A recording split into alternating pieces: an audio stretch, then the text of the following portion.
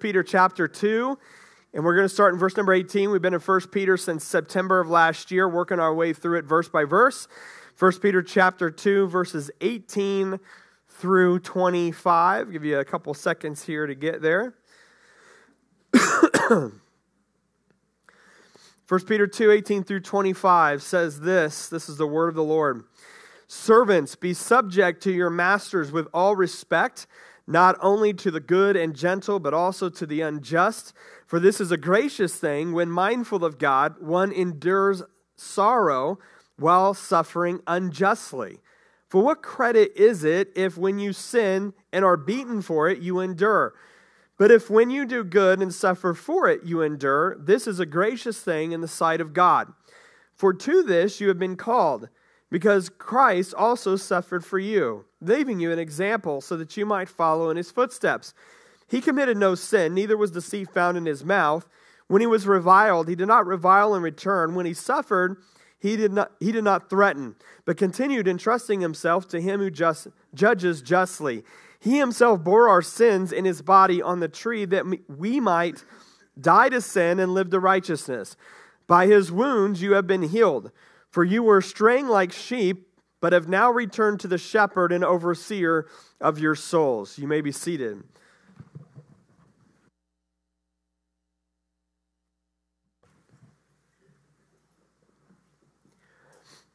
Anybody can wake up and go to a job they love where they are treated fairly, paid a good wage, and honored for their labor. Anybody can do that.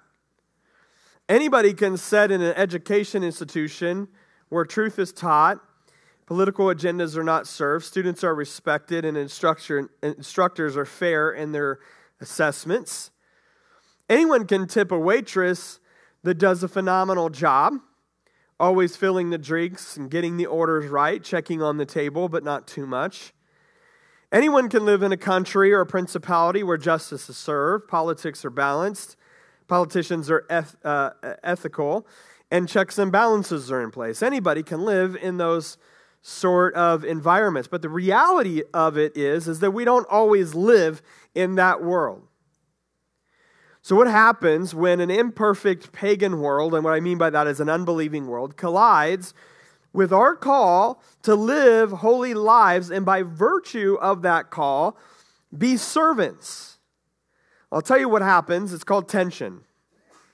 The tension that occurs between how we know we should live and what we actually end up doing it. And the Word of God and the Spirit of God resides within us to help us resolve that tension by closing that gap between what should be and what actually is by the Spirit empowering us to walk out honor to Christ. So let's look at the Word and what it has to say about this. We'll go back to verse number 18 and reread it again. it says, Servants, be subject to your masters with all respect, not only to the good and gentle, but also to the unjust. Now remember, this book was written 2,000 years ago, although still very applicable, inspired by the Holy Spirit to our situations today. But it was written 2,000 years ago, which means sometimes going back and getting some historical context helps us in our understanding of the scriptures and proper framework. The Apostle Peter is writing to several territories that are under the influence of the Roman Empire. Not just the influence, but they're under the control of the Roman Empire. And because of that, we have to consider that in how we look at this. Now, the Roman Empire's workforce contained master slave relationships. When we think of slaves in our modern terminology and understanding, we always think of something supremely negative. And yes, there are certainly a lot of situations, and there were some in the Roman Empire, where slaves were treated less than dogs. They had no rights, they had no legal recourse. When treated unfairly, they owned nothing, they were not allowed to own anything. They were underfed, malnourished, worked in harsh conditions, they were beat as discipline for their failures. Aristotle wrote, A slave is a living tool, and a tool is an inanimate slave, which really gives you a grotesque picture of the, the, the intellectual framework and the understanding and perspective of that. Well, that was true, and while that is true, that wasn't the case for every situation. The reality is, in the Roman Empire, a vast majority of slave owner relationships were actually really respectable. Some masters loved their slaves. They would actually give them a room in their house to live uh, where they didn't have to pay for it. They would treat them as a member of the family. Some of them even included them in on the family's will. The relationship developed to that point. They'd sit at the dinner table and eat with the family, and they would be treated as such. They were beloved. So, even in the modern American workplace, you'd be kind of somewhere in the middle, right? Obviously, employees have rights, and, and uh, hopefully on Monday morning you go to work, you're not getting beaten whenever you make, make a mistake. But most employees aren't treated like family and live with their boss. Maybe you were given a free turkey at Thanksgiving, but you weren't at the Thanksgiving meal of your boss's family. Maybe you have that relationship, but most people don't. So, we have to understand that not all slave master situations were bad like we think them to be currently. And those in the Roman Empire might look at our workforce and see some similarities. They might see some situations where there was some common love and, and care and concern that went back and forth. And so, in addition to that reality, most of the church in that time frame was most likely made up of slaves as opposed to the rich that hired the slaves to work. Most of the population were slaves, most of them had to work. Uh, uh, for someone who had the ability to hire them to, to take care of their properties and different things like that. A lot of the New Testament, because of this, is written within the framework of the author speaking to a lot of people who were slaves. And that's why when you read it, the Holy Spirit inspired these authors to use a lot of certain metaphors to describe spiritual principles using master slave language, such as there's no, you are no longer a slave to sin. That would have been very familiar to that audience because that terminology would have resonated with them. Jesus also used a few parables using the master slave language and scenarios to help his audience understand what he was teaching because he knew it would have been very familiar to who he was talking to. So the scriptures make a bit of emphasis out of this and understanding the culture, we can now see why, because this was a common thing and it wasn't always perceived. Of course, there were bad situations and good situations, but it wasn't always perceived to be something incredibly bad. it was a part of their lives, is what, what I guess I'm saying. Now, Part of the reason there was a need for this teaching about servants being honorable to their masters was that there were some Christians that were developing a mindset that because they were no longer slaves to sin, they were no longer slaves at all. So they would hear things like this 1 Corinthians 7:22 For he who was called in the Lord as a bondservant is a freedman in, of the Lord. Likewise, he who, who was free when called as a bondservant of Christ. He would also hear things like Galatians 3.28, there is neither Jew nor Greek, there is neither slave nor free, there is no uh, male and female, for you are all, all one in Christ Jesus. Now, this verse is uh, one of the most used and abused and twisted and contorted scriptures um, that I have seen uh, uh throughout our culture. This does not mean that these distinctives are removed from the world. Is there still male and female? Obviously. Are there still Jews that exist? Clearly. Are there still Greeks or Gentiles? Clearly. Are there still people that work and people uh, that hire people and people that have to work for others? Clearly, this isn't saying we're wiping these distinctives in the world and in our culture. What it's saying is no matter the role that you play or no matter what God has called you to in this life and any of these distinctives that God does in humanity, we are all under the same heading as sinners that have been redeemed in Christ. He looks at us through that same lens, although some of these distinctives are created by God and are there for a purpose. They're good. Okay? And so what, what they're, they're reading this and they're saying, oh, I'm not a slave anymore. And so I can buck up against my master and say, You can't tell me what to do because I'm now a Christian, which means I'm no longer a slave. And the apostles had to step in and say, Ah, oh, that's not what that means. They assumed that their newfound freedom in Christ meant that they were free from their masters as well, but the scriptures are clear. That's not what's going on here. And so there was a, a, an, an, idea that they had, to be, they had to be corrected amongst the church leadership. And they had to say, no, no, no, you're free in Christ, but Christ has still called you to this particular employment situation. And that in that, you have to be honorable and you do have to respect your masters and work for them as you're working for Christ. Now, there was another problem developing. Some individuals who were slaves were fulfilling leadership roles in the church, such as elders. And so, in some places, you had believing masters who were sitting in congregations that were subject to the spiritual authority of one of their own slaves that was serving in the church as an elder. This is a little bit awkward, right? Monday through Saturday, I need you to farm the land. I need you to attend to my family. Some of them were doctors. I need you to attend to my family's medical needs. I need you to wash the dishes. I need you to prepare our meals. On Sunday, the roles are reversed, and I said under your doctrinal teaching and spiritual leadership. And so there was some tension that was developing where the masters still thought they were masters in the context of the church, and the, the uh, slaves, in the context of being in the home of the master, then started exerting unnecessary and inappropriate authority over the master in that context. So, in fear of what the apostles feared might be a slave rebellion, due to this, these misunderstandings, the apostles had to step in and remind them that this, they're not relieved of the workplace duties. And in fact, they were to double down.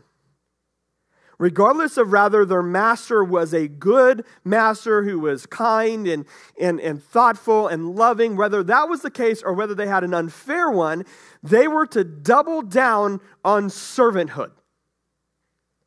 So let's go back to the verse. The word servant in the Greek, the original language of the New Testament, which is Koine Greek, the word is oiketes, oiketes, and it means a household slave. Some were farmers. Again, some were uh, medical doctors. They actually treated the family's medical needs. Some of them took care of the kids and ran them on their errands and different things like that. And then we go and say, servants are to be subject which is hypotasso, which means to place yourself under them. So place yourself under them. This is, this is a, an idea of, of there's an order. I'm still going to be subject to my master. And then it goes on to say, with all respect, this is without bitterness or neg- negativity, with gracious honor. And then the last part, and this is the hardest part for every single one of us in this room not only to be good and gentle, but also to the unjust. Now, the word unjust here in the Greek is scolios, which is where we get the English word scoliosis, which is a twisting of the spine. So, this refers to a master that is dishonest, unfair, unreasonable, twisted, perverse, and crooked. Literally has a crooked backbone. Paul gives us, under the inspiration of the Holy Spirit, the exact same message in Ephesians bondservants. Obey your earthly masters with fear and trembling, with a sincere heart as you would Christ, not by the way of eye service as people pleasers, but as bondservants of Christ, doing the will of God from the heart, rendering service with a good will as to the Lord and not to man. Knowing that, whatever good anyone does, this he will receive back from the Lord, whether he is a bondservant or is free. Masters, do the same to them and stop your threatening, knowing that he who is both their master and yours is in heaven and that there is no partiality with him. And so, even the, the masters who were becoming believers, Christ had to come in and say, Whoa, whoa, whoa, whoa, whoa, whoa. You have to do this whole employment thing way differently now. Now you represent me in the authority structure that I've set on earth, and now you must treat them with no partiality and treat them with love and kindness. So, in the workplace, believers are to submit to their employers as if they were serving Christ Himself. You want to talk about a counterculture message? That's it. Now, does that mean you stay in your current job in light of unfair treatment? That's not necessarily what this means. All situations are different. Now, again, in the, in the Romans context, it wasn't like us where you could just like quit a job and go find another one. Like you either did this or you you you you got lucky and found another home because you knew someone or you just flat out were broke and didn't eat. So you you couldn't always just quit your job and go work for someone else. so how do we deal with in our modern context where you can do that? If it's time to go to another job and the Lord has laid it upon your heart to do so after careful scripture reading, prayer, and fasting, then do so. But when you do so, how can you still follow the scripture? Don't dishonor them on the way out. Don't try to stick it to the boss on the way out. Don't try to blow the stack off the place and, and plant rumors and, and, and start a bunch of garbage and, and trauma and, and throw everybody under the bus and say, I don't care, I'm on my way out. You have to understand, you may be leaving a place that you don't have to go back to anymore, but Christ is watching. And your character matters. But what if God hasn't called you to move on? What if God isn't telling you to move. He's telling you to stay exactly where you're at, regardless of the unfair treatment. There could be coworkers that are there that you are called to minister to in the midst of that situation. An unreasonable and unfair scolios boss is not a reason to usurp God's plan for your life. If he wants you to stay, then you stay and you serve your boss like you were serving Christ, not in worship, but in servanthood. Now, what if my boss or my HR department asks me to do something that's anti biblical? Well, here's the deal that Christ is not asking you to serve other people to the extent to where you offend his holiness. You don't.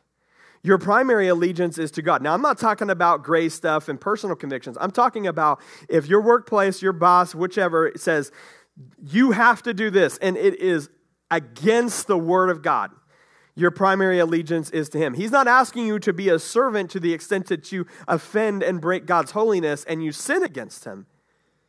And so, in these ways, your primary allegiance is to God. You, you refuse. You can't. Christ is your highest master. But in how you respond to those situations, you can either respond like a jerk or you can respond like a servant in honorable ways. You don't have to bull in china closet everything. I know some of you are just naturally bull in china closets. Raise your hand if that's you. I'm just kidding. okay, we've got a few. Okay, you're just a bull in a china closet, everything. You don't have to bull in a china closet this. All right? You can still be a servant, you can still be honorable while you say, Thank you for allowing me an opportunity to work here, but at this point, I cannot offend a holy God by doing that, and so I need to move on. And, and I would, at that point, I would take that as God's confirmation that it's time for you to move on. Sinning in the name of servanthood is just serving Satan, right? We don't extend this all the way to sinning. God is our ultimate and supreme authority. That's not what he's asking. Now, you want to talk about our theme for this year, counterculture, all of this is really counterculture. Most employees are, are, are, marching around, maybe some of us have been guilty of this, demanding their rights, trying to overthrow the authority of their superiors or not really respecting it, minimally gossiping about them at the water cooler, or showing up late on purpose just to stab them. Or maybe you've been in these situations where you, you, you sort of put your boss in an impossible situation just so you can sit back and watch them squirm. Or maybe you enjoy seeing them not do well. Maybe you, you enjoy watching them be in really tough situations. Or maybe you manipulate other coworkers to, to go against the boss or whatever. There's a lot of different scenarios. Not everybody is aggressive. A lot of people are covert. And they like to work their little, like a DJ in the background, just working the disc of the department, trying to get the boss in a frenzy, this condemns those actions. You are walking in sin. We should pray for our boss, whether we like them or not. Give them honor, even if you feel it isn't due, because it's not the boss you work for, it's Christ you work for. And you show God honor when you honor the authority He's placed in your life. Man, guys, this is hard stuff. We live in a very anti authority culture, blah, blah, blah, blah. Nobody likes listening to anybody tell them what to do. But He has put authority in your life, and some of them are not godly, some of them are, and you're to obey all of them up until it becomes sin. Now, why is this so hard? It's, it's our culture. My rights, my rights, my rights. Peter is saying, by the inspiration of the Spirit of God, it's not about your rights, it's about God's rights. And He's asked you to do these things. Verse 19. For this is a gracious thing when, mindful of God, one endures sorrows while suffering unjustly. For what credit is it if, when you sin, you are beaten for it? My childhood. And you endure. But if, when you do good, I'm kidding. Like, no, I wasn't beaten. Please erase that uh, of the thing. I was not beaten much. It, but if, when you do good and suffer for it, you endure. This is a gracious thing in the sight of God. In the year of 1948, in the town of Sun, uh, near the 38th parallel in North Korea, a band of communists had taken control of the town for a brief period of time and executed the two older boys of a Korean pastor. The boys died as martyrs, calling on the persecutors to put their faith in Christ. After the communists were driven out, Che's son, a young man of the village, was identified as the one who had fired the shots that murdered the pastor's sons. His execution by the new regime was ordered. The pastor requested that the young man's charges be dropped and that he'd be released into, the, into his custody for adoption. Rachel, the 13 year old sister of the murdered boys, testified in support of her father's request. The courts agreed to release Che's son into the custody of the pastor for adoption. Che's son, the murderer of the pastor's sons, would go on to put his belief and faith in Jesus Christ and walk in his adopted father's footsteps in becoming a pastor. You see, God will take care of justice. Each man thinks he is just and right in his own eyes but only the one who sits on the throne and sits on the judgment seat is the one who judges fairly and righteously. His scales of justice are perfect. And while we're seeking justice in our own mindsets for that unfair boss, that crooked politician, that corrupt parent, know that if justice was served, we'd all be dead and burning in hell. That if we all had to pay for our sins in this moment, that would be the eternal consequence. And that this life that we have is only a gift of God, that there might be a window of opportunity to repent and turn to Christ and put our faith in Him. That we only have that because God is merciful, because if God enacted justice swiftly and justly, we'd all be gone. All of us. Servanthood doesn't forget that fact servanthood always remembers that if I get what's actually deserving and coming to me, then there would be condemnation for all of us, not just my unfair boss. You see, suffering is a calling. Peter isn't just asking us to view suffering as inevitable under the curse. He isn't, he's not just asking us to some sort of stoic resignation to suffering just because. Suffering is a calling. You want a counterculture message? That's one for you. What is God's calling for your life? A lot of people walking around writing, a lot of books and moving them off bookshelves. This is God's calling for you. What is God's calling for your life? To suffer. But if our suffering is our calling, it has a purpose. Why is suffering our calling? Because it was our Lord's calling and we are no better than Him. If He calls us His disciples and we follow Him always, not just the ways we like, we will suffer. The path of following Christ is a path of suffering. A lot of people, they have this idea of Christianity. They're like, Here's Golgotha, the hill's in front of us. There's Jesus going up Golgotha's hill with the cross on his shoulder. We're all standing around the bottom like a bunch of cheerleaders going, Yay, Jesus, yay, Jesus, I support what you're doing. And they think that's Christianity. But Christ paints a very different picture. He says, If you're worthy to be my disciple, you will pick up your cross and go up the hill with me on your own path of suffering. Not just stand at the bottom of the hill and say, I approve and cheer for Jesus. He didn't call us to be a bunch of cheerleaders, He called us to be cross bearers. Suffering is a calling, but it has a purpose. that purpose is to forge in us something to be a represent, representation, an ambassador for his glorious kingdom.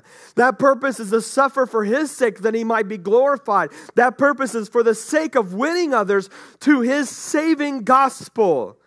1 Peter chapter 4, but rejoice insofar as you share in Christ's sufferings, that you may also rejoice and be glad when his glory is revealed. If you are insulted for the name of Christ, you are blessed, because the Spirit of glory and of God rests upon you. But let none of you suffer as a murderer, or a thief, or an evildoer, or as a meddler. Yet if anyone suffers as a Christian, let him not be ashamed, but let him glorify God in that name.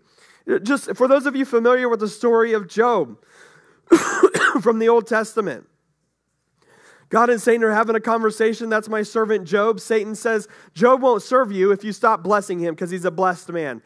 And so God says, okay, we'll take away the byproducts of the faith.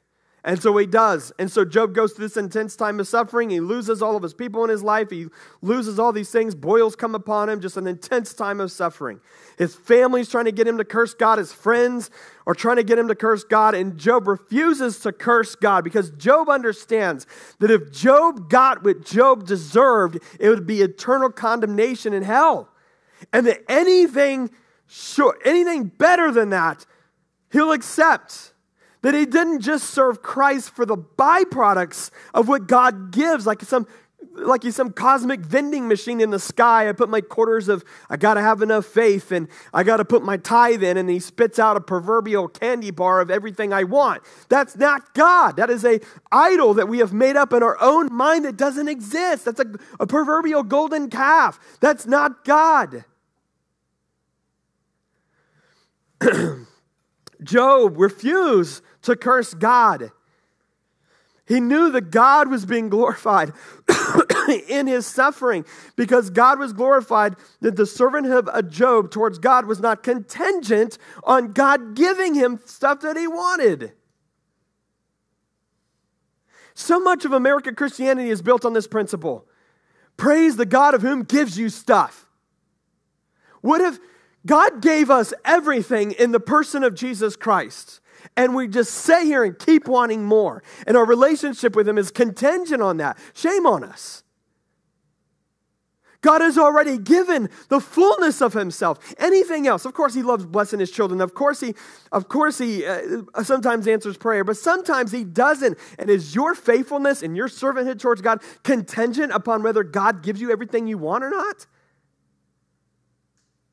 And Job knew this. He knew that God was going to have him no matter what, and that, that, anything that came to him was a result of God's divine providence and will, and that anything that happened to him as God giveth, he taketh away. He understood all of that. And so God, Job never he never condemned God. He never came against him. He never blasphemed him. And in return, Job was given more than he originally had, and God was glorified. Win win. And the funny thing is, is most of us that's holding on to this idea of God that I love you when you do great things for me, we're going to lose our lives anyway, because that's not the real God of the Bible. The purpose of the Christian life is not so that we'd be comfortable and wealthy, but it would be that our calling to suffering would result in the glory of God. We think God is just glorified when his servants are doing great and are prospering, but we are called to suffer as our Lord did. We are not above him. And this annihilates the prosperity gospel message in America, completely annihilates it. Well, Josh, I think that's a bit of a stretch to say that we're, or calling is suffering. Verse 21 For to this you have been called. Because Christ also suffered for you leaving you an example so that you might follow in his footsteps. He committed no sin, neither was deceit found in his mouth. When he was reviled, he did not revile in return. When he suffered, he did not threaten, but continued entrusting himself to him who just judges justly. He himself bore our sins in his body on the tree that we might die to sin and live to righteousness. By his wounds you have been healed. For you were straying like sheep, but have now returned to the shepherd and overseer of your souls.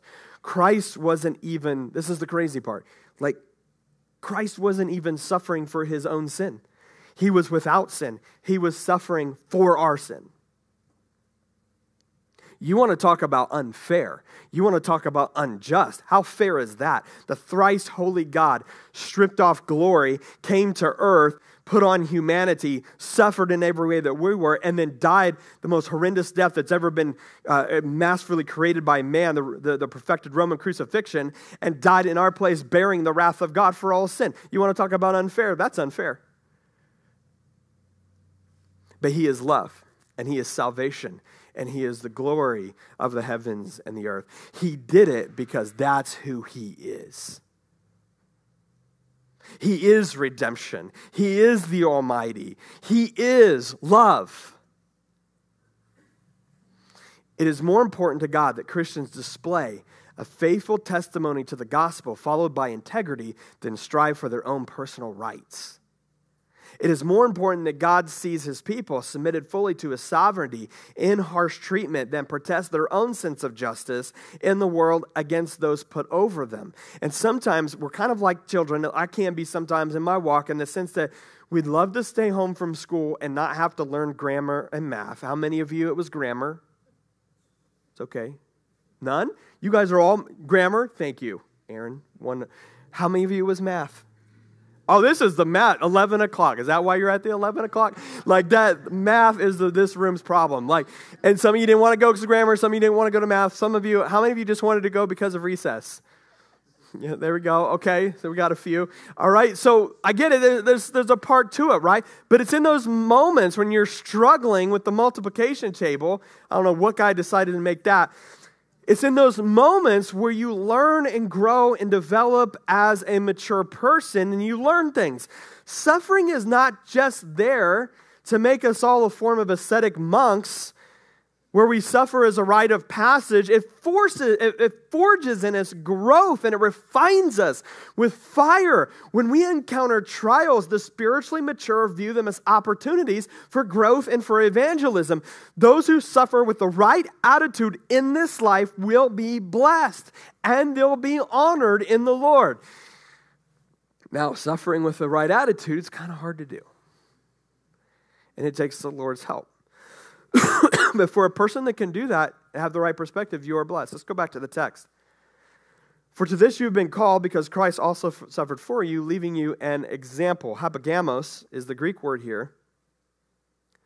According to the BDAG Greek lexicon. So this is what this is, for those of you who are like to nerd out on the Bible, and I hope that, that everybody gets that point, but the, a Greek lexicon takes the original Greek words and it teases out the senses of the words so you kind of understand how they use that word back in that time frame.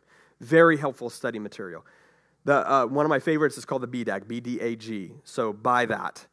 BDAG Greek uh, lexicon. So what it does is it helps you understand how the word is used. You have to understand bringing, bringing a word from an ancient language to 2,000 years later when we use words like lit to describe things um, like you have to understand that's a big leap and there's a lot of work that has to be done there. And so the lexicons help us make things lit. So the idea is this. Hypogrammos is to model or pattern and copy a writing or drawing. Um, first service set me straight on this. I guess the schools don't do this anymore but back in the day 19 92 Washington Elementary School, Parsons, Kansas. We use what's called tracing paper. You guys remember tracing paper? Wax, partially transparent paper. You would lay it on top of like letters and then you would draw. What would you do? The kids would draw out what an adult or a computer had already drawn. I always thought it was unfair because the computer's like perfect. You know, let's get a human to do it. But like you put it on top of there and you draw it out. Or you're an artist, you're an aspiring artist, and you put the drawing on there and you put the tracing paper and you draw what the artist drew so you can kind of learn how to do it, right? So they had old school tracing paper, probably from the same store that they bought transparency paper from those old giant uh, giraffe machines that they, you know, I'm talking about overheads, overhead projectors. They probably bought it from the same store. But you had tracing paper. So the idea here, uh, Hypogrammos, is that we're essentially taking tracing paper, putting it on top of the work that Christ already did, and we're, we're, we're tracing. the example that he set. Now, understand this. We're not following his journey in the sense that we're all going to pack up this afternoon and head out to Israel and go up Golgotha ourselves. There's only one person, God in the flesh, that could carry out that particular calling from God the Father. What I'm saying is, God has you somewhere, your job, your place, your wherever He's placed you. And what he wants you to do is put that tracing paper on top of what he's modeled for you and draw it out so that when people revile you, you don't revile in return. Then when people spit on you, on your way to dying for them, you don't spit back. That when people kick you when you're down or they get together as a mob and they try to push you off a cliff because they don't like what you're preaching, you just slip out of the group and you just keep preaching. That's the hypogrammos. That's the tracing what God, Jesus, our model and example, has laid out for us. Now, here's an example look like this. He committed no sin. Obviously, that's not possible for us. Well, he just says he's without sin. There's no truth in him. Romans 3:23 for all of sin and fallen short of the glory of God. But the idea here is that in our process of following out God's plan, we don't sin, and that when we do, we repent, we turn to Him, ask for forgiveness, ask for the grace to, to, to fully walk away from that. We are judicially declared righteous before God because of what Jesus Christ did, although we understand in these mortal bodies in this time until we die and we stand before Him, we're going to have issues with confronting sin. But He committed no sin. Neither was deceit found in His mouth. We don't have to lie on our way there. When he was reviled, he didn't revile in return. I'm not just looking to get everyone back and what they did to me. When he suffered, he did not threaten, but he continued entrusting himself to the one who judges justly. Even Jesus, the Son, is looking to the Father, the one who sits on the throne, and saying, Father, you will make you will line the goats and the sheep up, and you're going to take care of all of the judgment in the end. I don't have to do that. I don't have to get in your way. And how many, how many of you, don't, don't raise your hands because if you be honest, probably be all of us to some degree. How many of you, this is a really hard thing to do because you would really like to take justice into your own hands? Our justice is skewed. It's perverted, it's, it's contorted, it's bent on our own bias, it's corrupted by our own flesh and sin. We entrust Christ to help us. We entrust Him to help us repent of our sin. we entrust Christ to help us not return evil with evil. We entrust Christ to help us reserve judgment for the one who judges justly. Now, that doesn't mean that you, you ignore a brother's sin. We have a responsibility in the church. If you see a brother who's sinning and, and, and offending and bringing issue, then you have to bring that issue to him. Scripture calls for us to do that. That's not making judgment on their soul, that's helping a brother stay within the confines of disciplinary of the Lord and not falling into condemnation. 2 Corinthians 4 For this light momentary affliction is preparing for us an eternal weight of glory beyond all comparison. As we look not to the things that are seen, but to the things that are unseen, for the things that are seen are transient, but the things that are unseen are eternal. You, sometimes in the middle of your situation, you just got to stop just referencing the things that you the things that you see with your eyes. Look beyond that and look at it the way God does. It was very easy to come home from a really long day, and I get it, I've, I've, been in that situation. Come home from a really long day, and your boss called you out in front of people for something you didn't do and, and, and embarrassed you, and all these things are going on, and I get it. It's so, it's so frustrating. I don't know why I'm here. I don't know why I'm doing this. I feel like garbage. And you come, it's really easy to just stare at all those things. But Christ is saying, yeah, but John sitting in the cubicle next to you, he's one of mine and he needs to know the truth. And I put you there to preach the gospel to him and share your testimony. So buck up, buttercup. Put your work pants back on tomorrow, and you go to work and you preach the gospel to John, and you smile at your boss, and you keep going for me, for my glory. Romans 8 18, for I consider that the sufferings of this present time are not worth comparing with the glory that's to be revealed to us. We think everything in this life is such a big deal, but this life is so transient, it's so short, it's so temporary, and eternal is so long. And in eternity, we're going to be looking back at all the things that we thought were such a big deal, all the things that stressed us out, and we're going to say, man, that was nothing. I really wish in those moments I would have been faithful. 2 Corinthians or 2 Timothy 2:12, if we endure, we will also reign with him. If we deny him, he will also deny us. If we endure, we will reign with him, conquering death, hell, and the grave. Hebrews 2:10 for it was fitting that he for whom by all things exist and bringing many sons to glory should make the founder of their salvation perfect through suffering.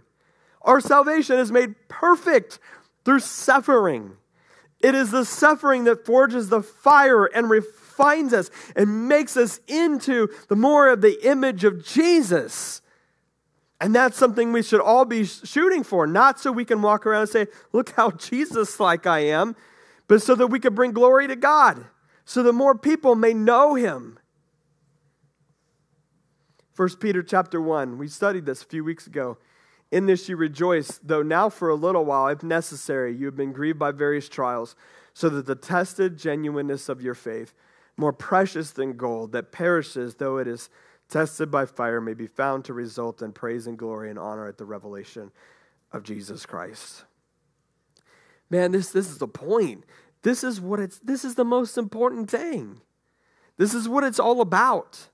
Nothing else matters in the grand, the grand scheme of things other than that we bring glory to God. And God said, I receive glory when my people are willing to walk the path of suffering I've called them to because their Lord was called to suffering and they're not greater than them. And if they will do that, I will forge in them something greater than gold and I'll use them in ways that they could never imagine. And when I say that, man, people always start, oh, I'm going to sell a lot of books and stand on stages and be really popular and have lights shine on me. This is overhyped because these are really bright.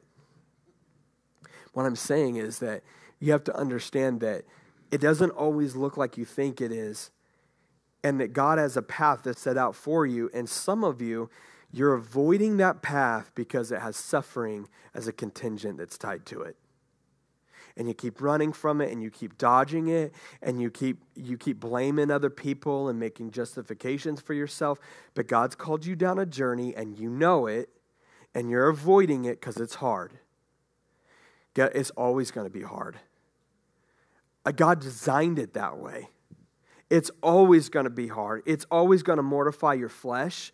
It's always going to cause you to have to die to yourself. It's always going to cause, you know what? It's going to almost always hit you right where it counts, right in the idols.